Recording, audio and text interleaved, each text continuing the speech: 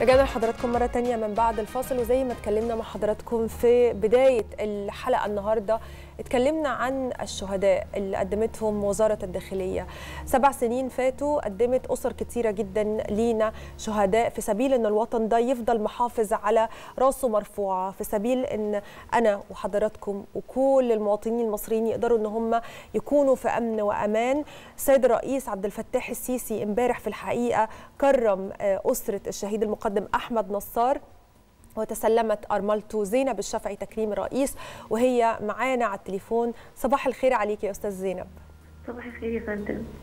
يعني إحنا مهما قلنا مهما وصلنا لك تحياتنا تحية التقدير ويعني تقدير مننا كلنا كمواطنين مصريين لما قدموا زوج حضرتك الراحل الشهيد في سبيل إن إحنا النهارده نكون موجودين وقادرين نتكلم مع حضرتك ونحتفل معاكي يمكن كمان بعيده لأن هو هو أكيد موجود معانا هو في الجنة إن شاء الله. أستاذ زينب يعني حابة أتكلم معاكي ونفتكر مع بعض يعني واقعة الاستشهاد. أهلا وسهلا يا فندم معاكي. أنا زوجتي الشهيد أحمد جابر نصار. أستاذة زينب معايا؟ ألو؟ أيوه معاكي يا أي أستاذة. زينب. يعني أنا أنا يعني هن هن هنفتكر مع بعض يمكن واقعة ممكن تكوني ما بتحبيش تفتكريها لكن إحنا النهارده موجودين عشان يعني نحيي كل أسرة شهيد وعايزين نعرف منك واقعة الاستشهاد عشان نفتكرها كلنا مع بعض. أحمد قطاع الأمن المركزي آه، كان شغال آه، الأول آه، أول ما اتخرج اشتغل في المنيا واشتغل في أسيوط واشتغل في العريش اشتغل في بلبيس وبقاله سنتين هو مسك قائد كتيبة الدعم في في, في إسماعيلية. آه، جاله أمر بيتكلف بمأمورية إن تبع الأمن الوطني والبحث الجنائي آه، في إسماعيلية إن هو يجيب آه، عناصر آه، شديدة الخطورة يعني. طلع تبع آه، آه، قرية اسمها قرية البلدفة تبع اسم تاني شرطة الإسماعيلية. آه، حصل بقى تبادل نار بينهم وحصل استشهاد. كان عنده كم سنة لما استشهد؟ 36 سنة. 36 مم. وانتوا عندكم بنت صح لا عندي ثلاث ولاد تلاتة. عندي تلاتة. نورين وكنزي وعلي عمرهم قد إيه نورين 10 سنين وكنزي 8 سنين وعلي سنتين مم.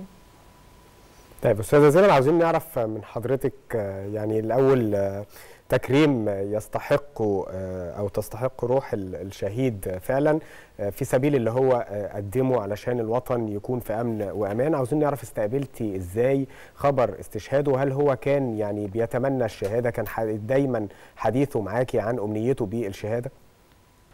أحمد يعني علشان شغلته وعشان وظيفته هو كان في الدعم.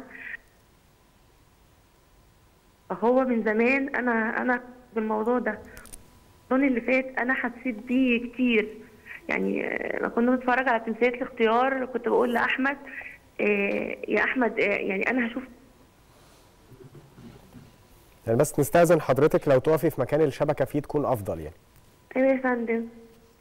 إحنا سامعين حضرتك بس يعني ممكن بس نروح لمكان الشبكة فيه تكون أفضل؟ أنا كده تمام؟ اتفضلي يا فندم. أنا أحمد يعني هو الشهادة من زمان هو طالبها من زمان لأن أصلا شغلته هو كده يعني المداهمة و... وعلى طول أصلا في مأموريات.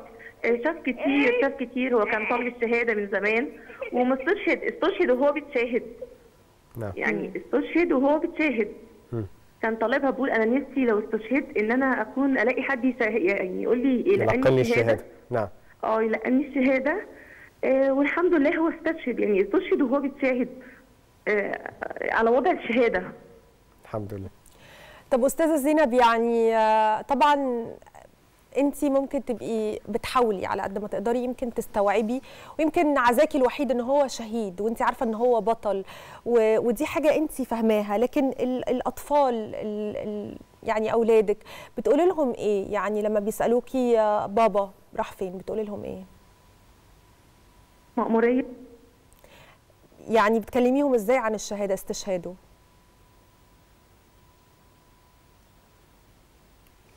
أستاذة زينب. أيوه يا فندم. أنا بتكلم- بقول للولاد إن آه. بابا بطل كبير وهو حبب ابنه الصغير في في ال- في كده في موضوع ال- إن هو يدخل هو فعلا بطل كبير وفعلا كلنا يعني في الحقيقة كلنا أهلك وكلنا آه، يعني نتمنى نكون آه، يعني النهارده بنقدم ولو جزء صغير من آه، اعتزازنا وشكرنا الكبير للراحل الشهيد زوج حضرتك وأستاذة زينب. إحنا بنشكرك جدا على هذه المكالمة القيمة المقدم أحمد نصار في قلوبنا جميعا إلى يوم الدين.